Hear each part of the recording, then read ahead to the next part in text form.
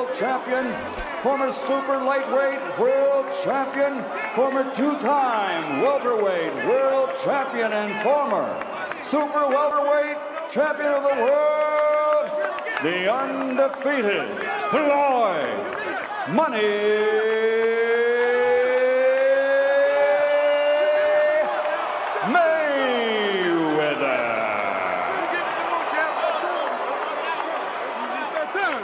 And fighting out of the blue corner, wearing silver with red, officially weighing in also at 147 pounds, a perfect, pardon me, a professional record consisting of 29 victories, including 22 knockouts with two defeats and two bouts even.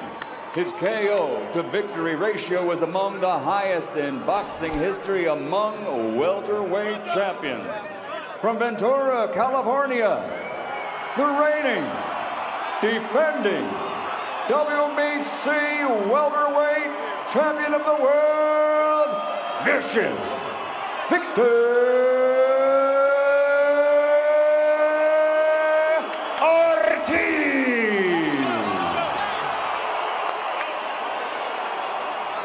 Well, Dave, you can certainly feel the electricity in the crowd. There's been a lot of anticipation for this one. It's funny that most people say that Victor Ortiz is the bigger right, of the guys. two guys. All right, gentlemen. We were the rules in the dressing room. Actually had I expect a good, clean fight. Obey my commands at all time. Watch out for the heads inside. Give me good sportsmanlike conduct. Remember, guys, I'm fair but I'm firm. Touch him up. No. Well, uh, Floyd Mayweather Jr. in the black and orange, and in uh, the silver trunks that look white on the screen with the colors of the Mexican flag and the American flag on the left side of his leg is Victor Ortiz. Jab getting through there by Mayweather right away here. A little tentative is Ortiz who needs to put pressure on him. One of the things you watch for with Mayweather is that sneaky right hand in the first round of fights. He can throw it like a right hand lead as if he were a lefty. And you can also make you miss and then turn quickly and make you pay. And I'll tell you, with all the talk about his age, I mean, that shows you right there. The sneaky right hand, he turned it over. He still has the hand speed. Another right hand pops off the face of Ortiz. Ortiz catches him back. Now he tries to muscle Mayweather back, and Mayweather won't move. Ortiz came, as you see, he's a southpaw. His power is in his left hand. There's that right hand lead by Mayweather, perfect against the lefty. And what you watch with him, when you measure punching power, is a guy that's like a seven on a scale of 10, but he hits you with a ton of sevens in the course of a fight. And that's what he means by breaking guys down. There's one thing that's clear to me at 34 years of age, he hasn't lost a heck of a lot in terms of speed and it's and it's significantly different from Ortiz. Ortiz is more of a power guy, yet the power punches in this round have been landed by Floyd Mayweather Jr., who's the challenger here. Well, Ortiz needs a cooperating style in order to get inside and put his opponent down. He had it against Berto. Will he have it here? Different story. And he was down twice against Berto himself, but uh, many people think that that could be the fight of the year. It certainly was a great fight. But this is a different kettle of fish. Berto, while a wonderful fighter, is not in the same league, nor many other fighters, with Floyd Mayweather Jr. For all of the said negative about him, he is a great fighter. And there you go with the right hand lead again after the shoulder roll he shows. And that's there all night for him, and he knows it, and that's his power shot where the left-hand lead for the southpaw would do the same thing. No problem so far with the guys stepping on each other's feet. Interesting thing about Mayweather is, regardless of whether it's righty or lefty, he throws the right hand at a time when you think he's going to throw the jab. That's one of the things that makes him so effective. And he's landed it about four or five times. A lot of anticipation for this fight. Ortiz really didn't open up in the first round because he couldn't. He can't box with this guy, Dave. He's going to uh, try to muscle this guy as best he can. He can't box with him. So what he's going to try to do is bob and weave work the way inside, cover up on the way, and then try to do damage to the body once he gets close in his perfect game plan. But Mayweather, with his reach, with his anticipation, look, there's the right hand greeting him on the way in when you thought a jab might be the shot there. He is so instinctive. There's the, The defense. defensive move by Mayweather. And if we get numbers throughout the course of this fight, it will be quite telling to see what Ortiz gets in. Most Mayweather opponents are less than 20%. Well, so far he's going to be under that. Yep. And the southpaw style with Floyd's right hand is no problem at all for him. But you know, Ortiz looks tentative to me right now. And this isn't the way he wants to fight this fight. Yeah, well, you know, the big stage, it's in front of him now.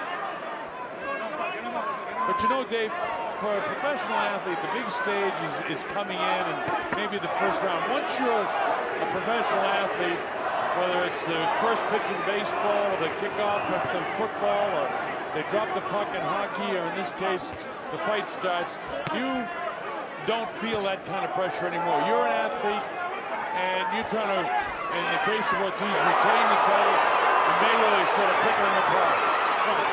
Different fighters have a, a different tentative aspect to it, and they need something to get them going, which Ortiz is trying to open up a little. He hasn't been hit with before. It's taking some time to adjust, but he did land a nice left hand. And every time he does anything, the crowd explodes here at the MGM Grand Garden Arena. Mexican Independence Day weekend is huge here in Nevada. And so the Mexicans are out here rooting like mad for Victor Ortiz. Chopping right hand by Mayweather. Another right hand by Mayweather. And another one. Every time he does that, Ortiz has to reload. And he gets slow, and Mayweather chops him again. And you see how quick he grabbed onto him and prevented him. Mayweather backed off a shot coming to him, and then landed a right hand.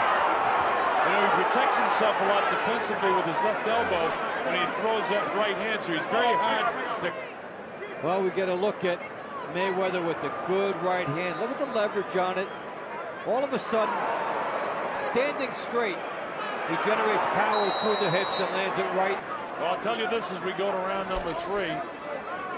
Ortiz has got to be throwing when he comes into the zone, or he's going to get counted to death tonight with that right hand of uh, Floyd Mayweather Jr. Mayweather is doing about what he wants to do in this fight so far.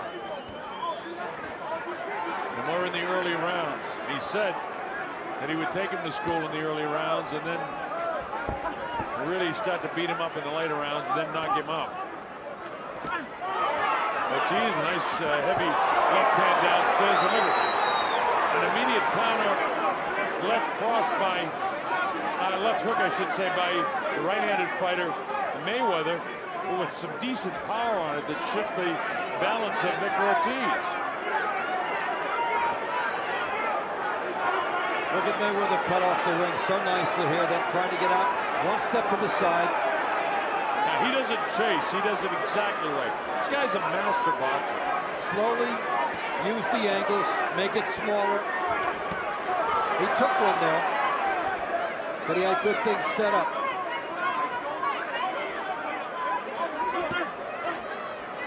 There's, there's more of the defense where he has those elbows and hands up high. And Ortiz lashed out with a good right hand and left hand, and neither one of them was taken very flush by Mayweather. See that elbow comes forward, he catches a lot on that elbow. Elbow out, there's the good right hand again. Another right hand. Do seven or eight things well if you're Ortiz and you think you've got some momentum going, and Mayweather takes it all away from you in one shot. The right hand crashing down the throat. Again, that's about 10 or 12 during the course of the fight. He had four in the last round. That's his fourth one in this round. Look how quick he is when Ortiz comes after him. I'll tell you one thing, Dave. I hope that we get to see Mayweather and Pacquiao and that we have the opportunity to call that fight because, man, that would be sensational. He'll be one of the all-time greats. But this fight is far from over. Oh, everything is going Mayweather's way. Look at him, he parries off the straight left hand. That time he got tapped in the chin, but was pulling back. And Ortiz just missed. Ortiz just missed with a big left hand. And Mayweather slapped it away at the last second.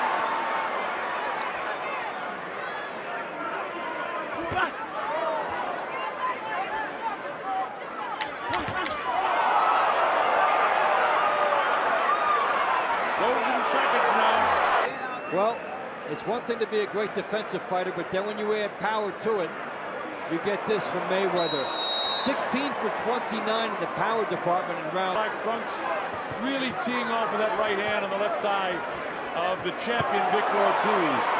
Ortiz hasn't been able to force his spell at all. Mayweather dictates. Look at this. I mean, that time Ortiz tried to explode, and everything was smothered by the hands of Floyd Mayweather. This is what Ortiz is not used to, being a split second late when he has a good idea. Joe warns Ortiz about his head. When we were in the dressing room, Danny Garcia said to Joe Cortez, warn him about the elbow because, you know, he throws his elbows but he blocks a lot with his elbows. Look at this. I mean, it's a it's a boxing lesson, isn't it? Guys on two different levels. Ortiz trying to change down the up. He catches him decently. Mayweather says no, and Ortiz doesn't like it. The crowd going absolutely crazy. Anytime Ortiz ignites, so does the crowd. one of the few bright spots for Ortiz in the fight so far. And again, he almost got there. That's the trouble with Mayweather. A lot of people almost get there. He was hit pretty good in the second round in his last fight by Shane Mosley, but I think you said earlier that's all Shane did his other night. But even though Ortiz had that real nice flurry, he's not winning this round. That was his only flurry and his flurry was like sizzling steak. He didn't really get much of it in. And the chant goes up, Ortiz, Ortiz, Ortiz.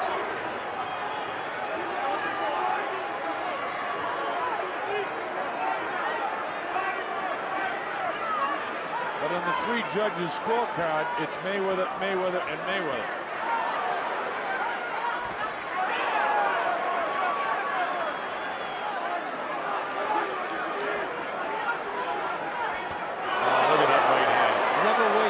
opportunity to land that right hand.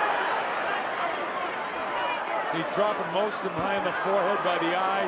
Pick him down the middle. And here's Ortiz battling back. But look where the hands uh, are on Mayweather. He lunged forward with his head. Time has been called, and now a point's going to come away. The point. Well, headbutt. Point, headbutt. And it wasn't intentional point, headbutt. headbutt hurts Ortiz because he was having you, one of his most aggressive rounds in the fight. Don't be doing that. Don't be doing that. Let's go.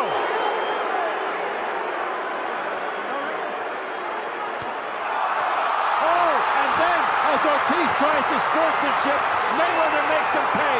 What a rookie mistake there by Ortiz. It's up to seven and eight. He's not going to make it. Nine and ten. It's all over. He's still out as he crawls to the corner right above us. He got suckered in. Floyd Mayweather made it seem like he would embrace him, and then he clocked him twice. A rookie mistake, and Floyd Mayweather has done it. He's the 147-pound world champion. After 16 months, no ring rust.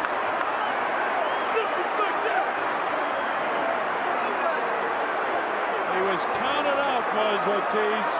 I'm going to see that again, Dave. Well, it was a beautiful fake. I mean, okay, the referee says point deducted, and Ortiz made an unusual maneuver to try and apologize again to Mayweather. Mayweather made it look like he would accept it, but then he turned and nailed him twice. Protect yourself at, at all times. Mayweather with a sneaky shot And he caught him, and he really knocked him out. Because after the referee Joe Cortez, Cortez counted up to 10, he was still out for another, oh, 10 or 12 seconds. The thing is, he had already apologized once to Mayweather. Yeah. This was the second time. Yeah. He did it right after the incident. Mayweather being ingratiating to him now. And Ortiz smiling as he has throughout the confrontations they've. But you know, come on, here we go now. Yeah, there's the uppercut. Now here comes Ortiz, trying for his best moments of the fight here. Now watch the head. He's doing well. Comes up, And then the Deliberate headbutt. A deliberate headbutt. could have lost two points there. So now he goes for the apology. Floyd says fine. They go for the embrace. Referee Joe Cortez is not there. Boom. Left hook, right hand. Right hand. Yeah. You don't hang out in the kill zone with Floyd Mayweather. Now this is going to be controversial and it shouldn't be. You got to protect hope. yourself at all times. That took him out of it. and That finished. he's looking over at the referee.